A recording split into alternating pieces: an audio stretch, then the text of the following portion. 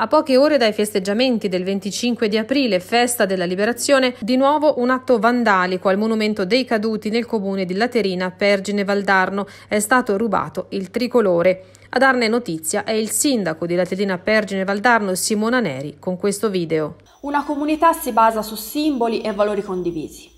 Il valore della liberazione dall'oppressione nazifascista è un elemento fondativo della nostra Repubblica. Non a caso ieri, come tutti gli altri sindaci d'Italia di qualsiasi colore politico, ho reso omaggio come sindaco ai monumenti e ai caduti presenti in tutto il nostro territorio comunale. Ecco, purtroppo, come già avvenuto tra l'altro con le stesse identiche modalità già nel 2019, qualche sconsiderato stanotte ha rubato le bandiere che ieri erano state poste a fianco del monumento ai caduti a Laterina. Io non so se sia una coincidenza il ripetersi dello stesso fatto.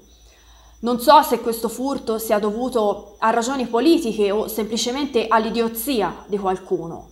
So per certo che questa amministrazione comunale, unitamente all'associazione combattenti e reduci, ovvero i, i proprietari di queste bandiere, sporgerà formale denuncia per furto e vilipendio alle istituzioni. Vi garantisco che faremo di tutto, utilizzando ogni mezzo perché il o i responsabili di questo atto gravissimo vengano perseguiti.